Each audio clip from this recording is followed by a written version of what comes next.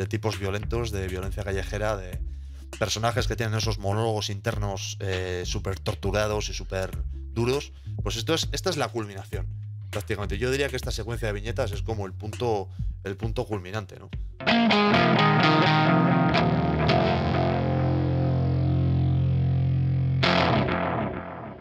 Hola a todos, ¿qué tal estáis? Bienvenidos a una nueva entrega de cómics, mentiras y cintas de vídeo, en la cual vamos a continuar haciendo un pequeño repaso a algunas de las obras más importantes de la carrera de uno de los artistas más importantes de la historia de este medio, del cómic, que no es otro que este señor con gabardina que vemos aquí.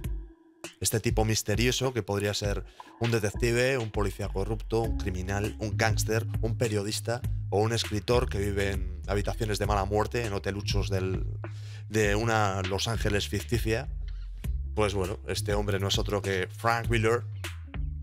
Y esta obra pues es Sin City, una de sus obras más influyentes en su época, un cómic que tuvo un éxito bestial, una influencia increíble y que además sirve, digamos, como un muy buen punto pivotal, por así decirlo, un punto sobre el cual eh, bascula su carrera. ¿no? Es un artista que venía de los años 80, lo hemos visto en, par de entregas anteriores que hemos hecho, con Ronin especialmente y después con Love and War, esa historia de Daredevil con, con Kimping como coprotagonista. Y bueno, digamos que este es un artista que en los años 80 trabajó fundamentalmente para Marvel primero y después para Marvel y, y DC. Un poco Primero se salió, por así decirlo, como un gran artista en Daredevil, destacó como un, gran autor, ¿no? Capaz de hacer sus historias y desarrollar sus propios cómics y demás. Y mm, posteriormente, pues a medida que fue subiendo su estatus, también pudo convertirse en un artista mucho más exigente. Mirad qué dibujazo. Y, claro, pues aquello le fue llevando a ir pidiendo cada vez más libertad a las editoriales, cada vez más libertad, y llegó un punto en que tuvo que salirse, digamos, de esa rueda. Hizo Batman El regreso del Señor de la Noche para DC. Para Marvel hizo Electrolypse Again, hizo Electra Asesina. Em, no sé, hizo una serie de cómics que fueron muy espectaculares y llegó un punto en que ya, digamos que las editoriales grandes no le daban para más, ¿no? Y entonces él ya, cuando llega el año 1990, se sale de, de DC y de Marvel y salta a Dark Horse, que es un sello que ha editado muchísimos cómics importantes de la historia. Es un sello que siempre ha destacado por mostrar una perspectiva mucho más independiente. digamos que tiene el músculo editorial para hacer cómics importantes, Hellboy, por ejemplo, pero mantiene ese rollo como de ser muy, respetuoso con las creaciones de los autores y como de tener esa filosofía más independiente. Y Frank Miller en los 90 salta a Dark Horse junto con otros artistas súper importantes que tenían inquietudes muy similares. Estamos hablando de gente como John Byrne, como Mike Mignola, Paul Chadwick, por ejemplo.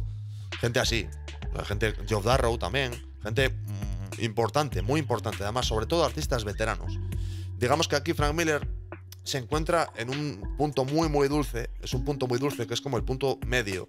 O sea, podemos decir que a pesar de que todavía es relativamente joven, digamos que ya se encuentra en una especie como de edad mediana como autor, ¿no? Ya no es un joven, un joven dinámico, rompedor, sino que es un autor establecido que es capaz de vender cómics, que es capaz de ganar muchos premios con sus obras y demás. Y aquí, pues se lanza a, una, a obras de madurez. Y bueno, el resultado de estos autores yéndose a Dark Horse acaba culminando en la aparición del sello Legend, que es como se le llamó, porque en esa época, sobre todo por la influencia de Image Comics, eh, digamos que se había puesto como muy en boga ese concepto de crear como subsellos, ¿no? Con, liderados por artistas que teóricamente lo que buscaban era la libertad y, y tener los derechos de sus propias obras y estas cosas, estas cosas. En el caso de Image Comics era una cuestión pura y dura de dinero y en el caso de Legend yo creo que sí que había mm, más respeto, por así decirlo, por hacer cómics de, de calidad y por hacer obras realmente maduras.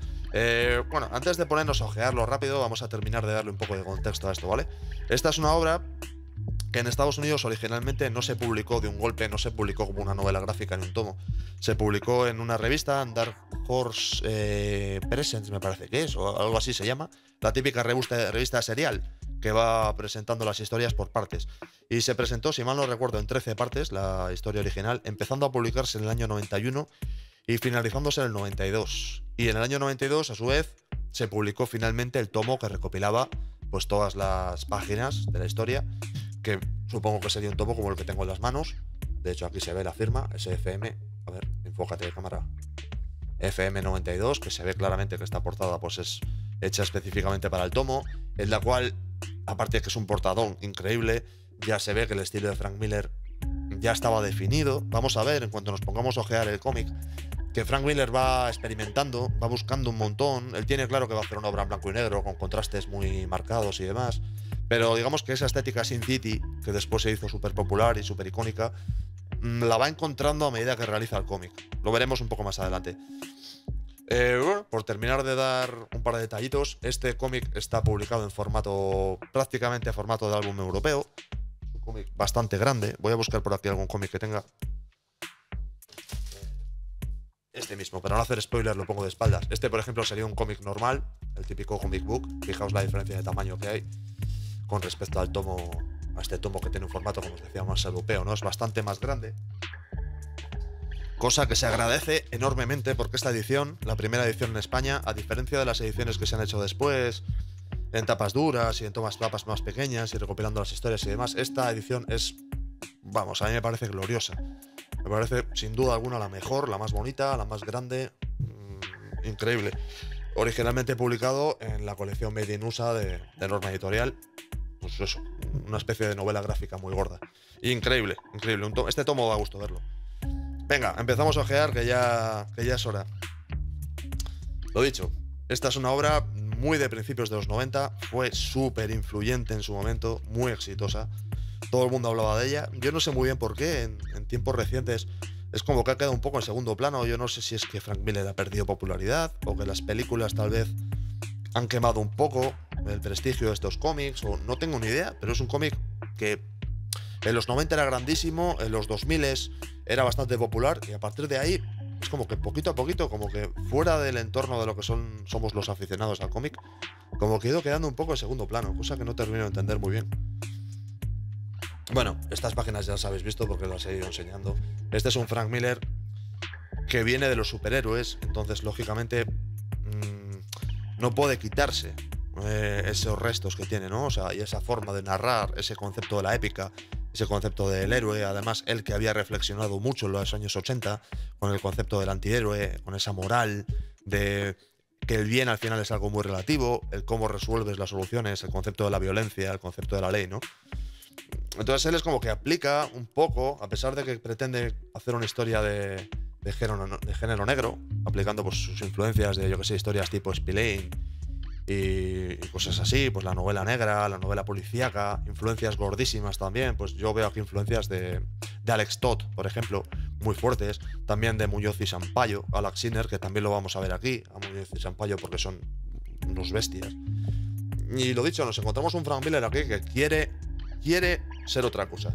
Así como en Ronin, él ya había hecho en los 80 un esfuerzo tremendo por acercarse al cómic europeo, un poquito de manga, este tipo de influencias, hacer un, demostrar que era capaz de hacer una historia que no fuese necesariamente una historia de Marvel. En Sin City lo que nos encontramos es un autor que no necesita demostrar nada, por así decirlo. De hecho, fijaos esta página, por ejemplo, cómo está compuesta. Prácticamente por sombras, o sea, prácticamente es negativo y... Bueno, negativo no sé exactamente, ¿no? ¿Cómo se llama esto? No me acuerdo. Simplemente está prácticamente quemada.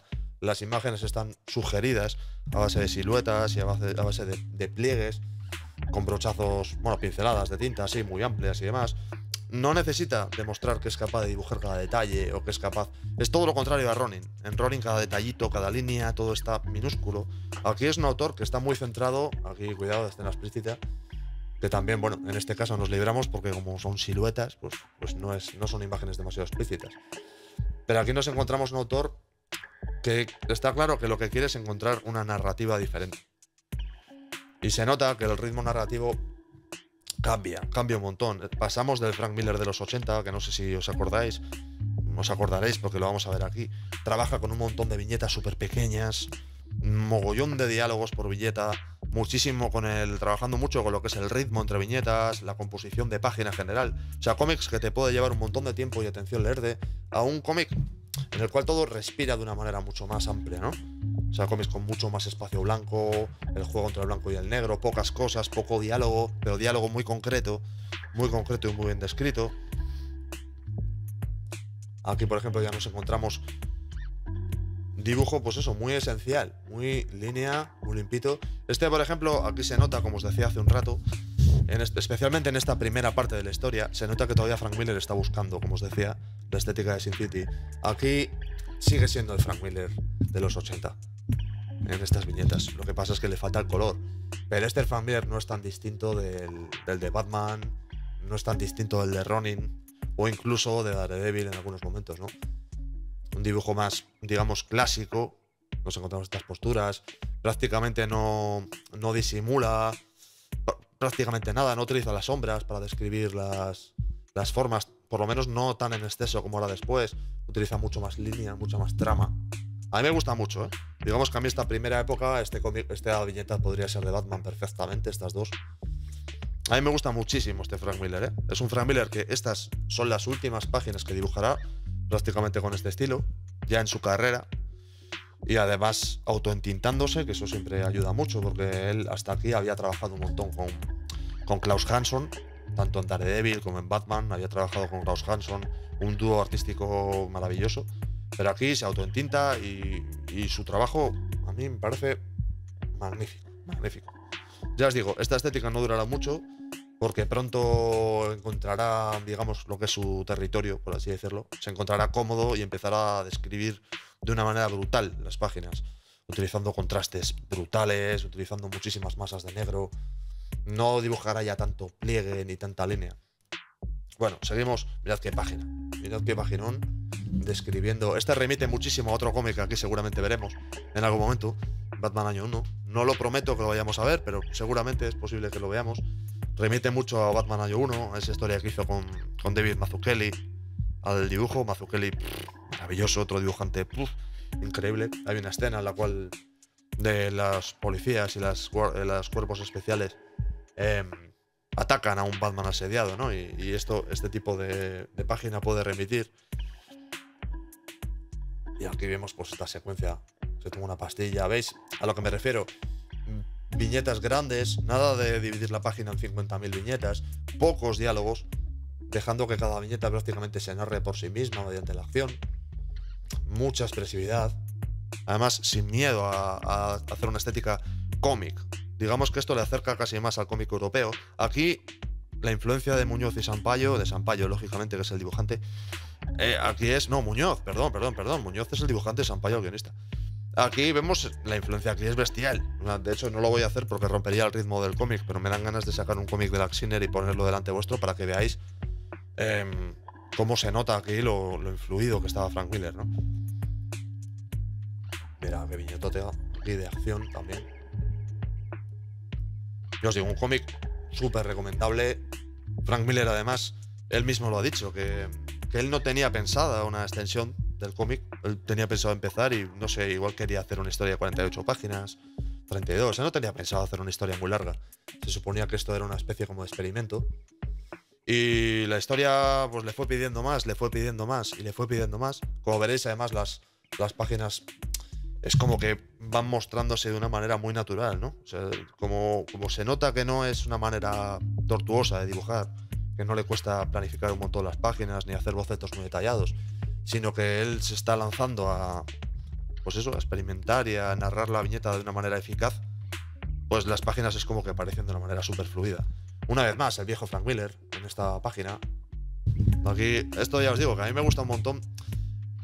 En primer lugar, porque me gusta, simplemente me encanta este Frank Miller que utilizaba este tipo de líneas, por ejemplo, para dibujar eh, cristales rotos, después de haberse tirado el personaje por una ventana. Em, este tipo de perspectivas que se está tirando y se ve ahí los detalles de las bolsas de basura, los ladrillos que están dibujados a medida que cae el personaje, creando esta sensación como de, como de caída, estos personajes que caen encima de las bolsas de basura. Es, es, increíble.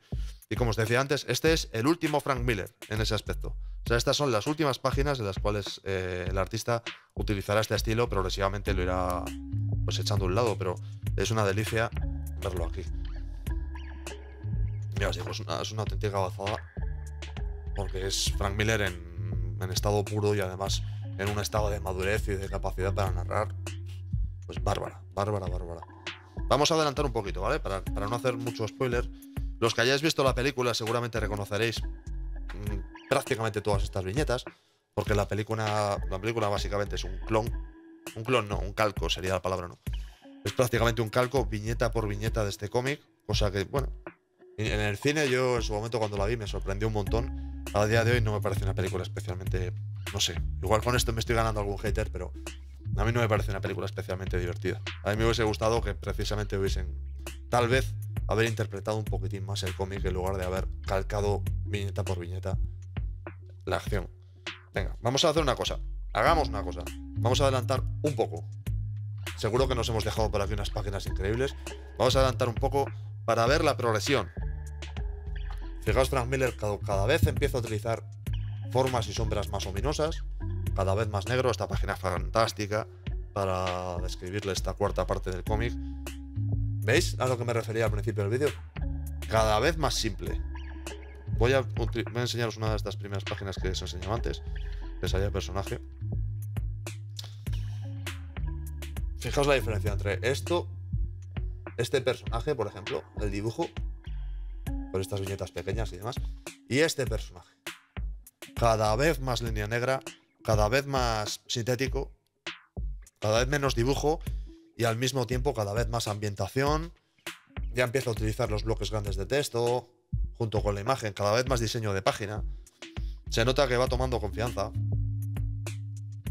Y que ya, pues eso, esa mentalidad que os decía antes de mm, artista que no tiene tanto que demostrar, sino que simplemente se deja llevar por la estética, se deja llevar por la historia y se limita a narrar con la mayor eficacia, pues eso lo consigue, ¿no? A pesar de que aún vemos alguna página como esta, que ya os digo, me, flipan, me encantan con, todos los ladrillos dibujados y la perspectiva y demás. Esto está guay. Pero progresivamente iremos viendo cómo irá siendo cada vez más y más y más sintético Escenas de acción fantástica, clásicas escenas de bar que tiene City.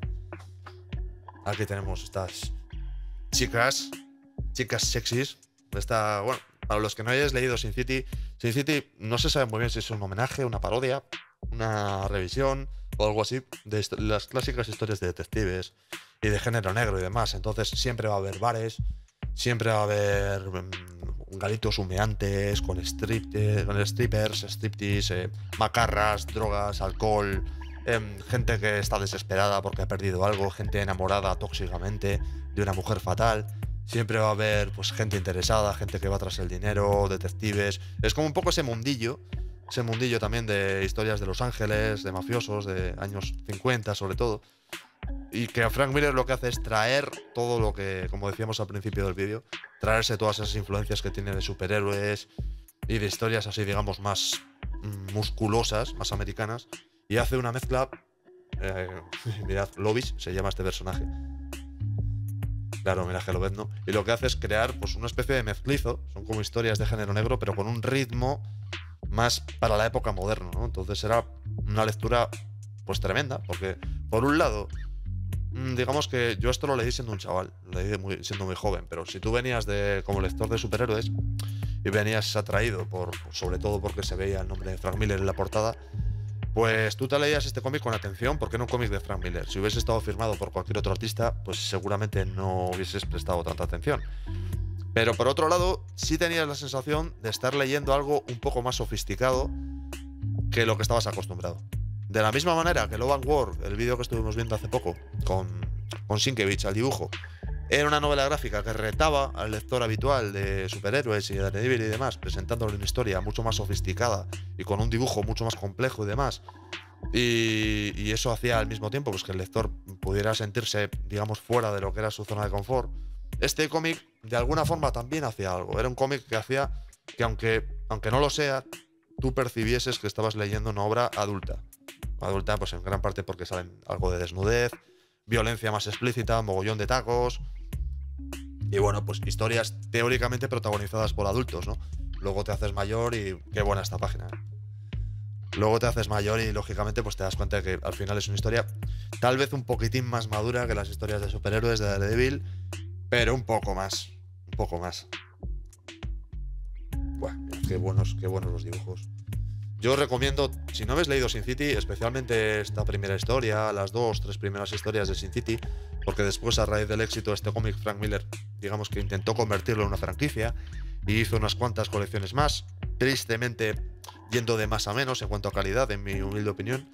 Pero si podéis leeros las dos, tres primeras historias, os las recomiendo bestialmente porque en serio que lo vais a pasar muy, muy bien. Os vais a encontrar lo mejor del viejo Frank Miller junto con lo mejor del, entre comillas, nuevo Frank Miller.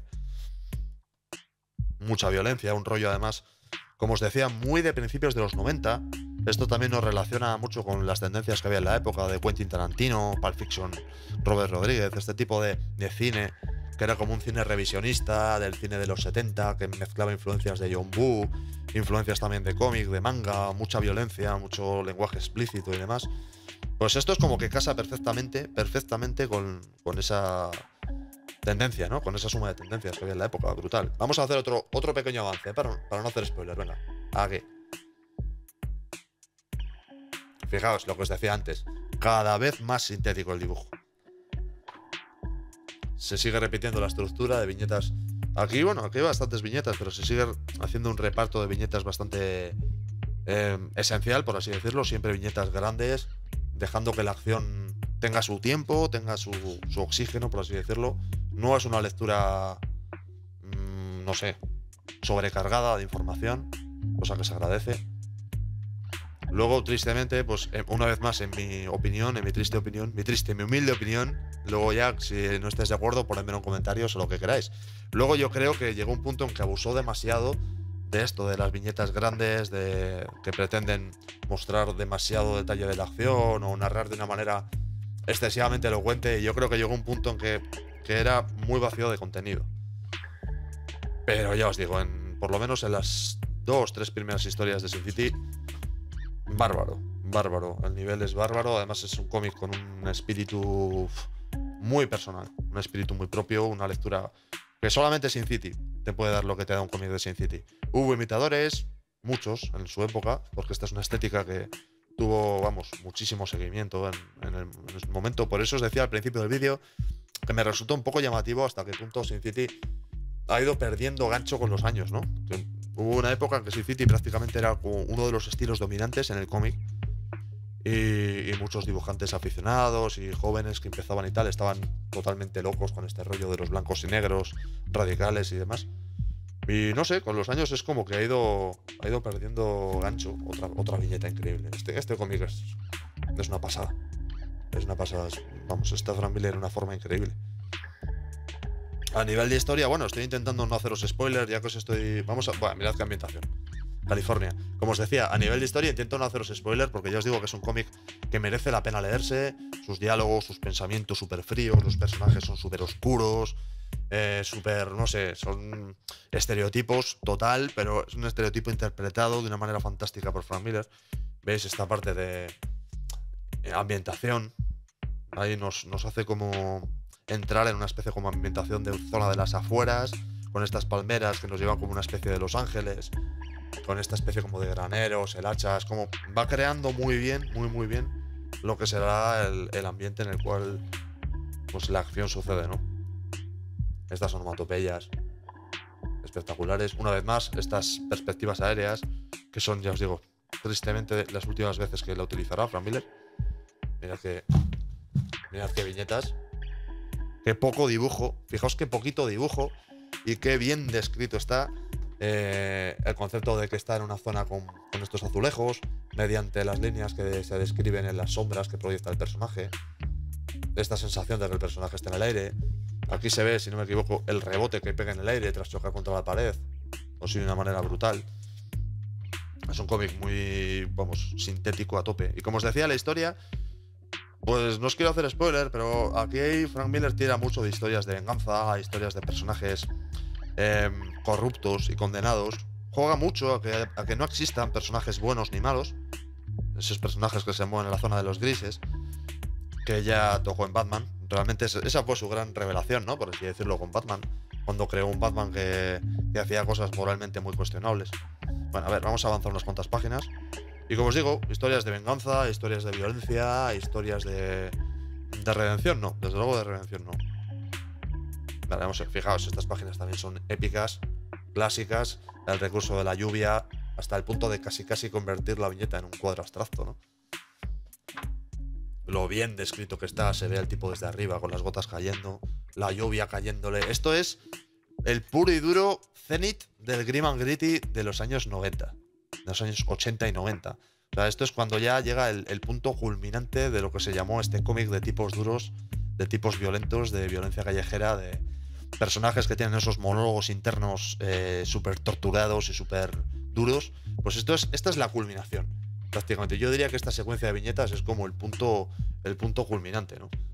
Cuando se asoma esta estatua y ve desde abajo esta figura con esta lluvia que golpea impenitentemente a base de líneas blancas que destrozan las viñetas. Es genial y todo el tiempo con este texto que va ilustrándote con un ritmo fantástico las secuencias que van sucediendo. Ya os digo, cada vez más viñetas más grandes, con cada vez más sombra, cada vez más difíciles de, de entender. En el fondo te tienes que fijar. Yo digo, fantástico, fantástico. Muy bueno, muy bueno.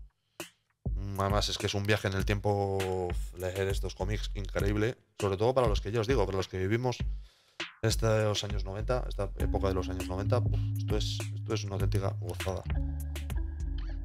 ¿Ves, ¿Ves a lo que me refería antes? O sea, ya empezamos a ver un blanco y un negro totalmente radicales, absolutamente radicales, que contrasta fuertemente con lo que veíamos al principio del cómic, ¿no? Que era un dibujo que tenía más trama, más línea, estaba más, más detallado. Aquí Frank Miller ya se ha encontrado. Frank Miller ya aquí ha dicho, vale, ya tengo el tono que quiero, ya tengo el ritmo que quiero y ya, ya está. Vamos, para, vamos a lo bestia con esta estética. Y bueno, pues eso, chicas malas, em, criminales, gente corrupta en general. Sin City, Sin City en resumen, amigos míos. Pedazo cómic. No vamos a hacer mucho, ya os digo, no voy a hacer mucho spoiler. Creo además que al final están las portadas, que esas yo creo que sí que podemos ojearlas muy a gusto. Aquí vemos algunas portadas e ilustraciones promocionales. Ya os digo, aquí además se nota que son del año 92, porque ya está totalmente cerrada lo que es la estética, con este blanco y negro así bestial. Esta es hipericónica, esta página con, nuestro protagonista sentado en, en una silla eléctrica. Esta página, que no sé muy bien de dónde sale, con una monja satánica. Eh, mm, tipo de personaje que a Frank Miller por algún motivo extraño le encantaba utilizar, especialmente, por ejemplo, en, pues en Again. Se tira un montón de estéticas de estos de, gente religiosa, de templos y demás. No sé, no sé por qué le gustaba tanto este rollo. Y bueno, pues aquí nos encontramos ya el, final del tomo, que este tomo es, es, glorioso, en serio. A mí me gusta mucho más que cualquier reedición. Y aquí finalmente, pues lo que era la colección Made in USA, Jimmy Liberty, que este es un cómic que veremos, lo que no sé es cuándo, porque tiene un guion súper espeso y, y me gustaría hacer un cómic, un cómic, joder, me gustaría hacer un cómic, antes de nada, eso, eso es cierto. Pero me gustaría hacer un vídeo hablando un poco de su, más bien de su argumento de la parte de guion que de la parte de dibujo. Y es muy complicado, porque es un cómic de ciencia ficción política, con mucha ironía y demás, que además, mmm, digamos que profetiza muchas cosas que suceden a día de hoy no sé muy bien cómo lo vamos a enfocar. Hardboiled, y Liberty otra vez. cómics buenísimos. Frank Miller, chavales. Me podría tirar todo el día ojeando y mirando el cómic. Como ya os he dicho, no he querido hacer spoiler. Me he ceñido puramente a lo que es la parte del dibujo. Cosa que es una gozada, una auténtica gozada. Y os animo, en serio, a que os leáis el cómic. No es nada difícil de conseguir, se ha reeditado un montón de veces, lo tenéis en un montón de bibliotecas, un montón de amigos vuestros lo tienen en casa en su estantería. Si no lo habéis leído, leedlo, y si lo habéis leído, releedlo. Amigos, si me he dejado alguna cosa, si hay alguna propuesta que tengáis, si hay algo que he hecho bien, si hay algo que he hecho mal, cualquier cosa que se os ocurra, ponedmelo en comentarios o, lo que queráis. Y nada, continuamos en un futuro con más cómics, más mentiras y más cintas de vídeo. Seguiremos con más cómics de Frank Miller, no sé en qué momento, pero sin duda volveremos. Volveremos con el señor FM porque es gigantesco. Es un señor gigantesco. No sé si en tamaño, pero desde luego influencia artística, vamos, muy top. Amigos, pasadlo bien. Un abrazo.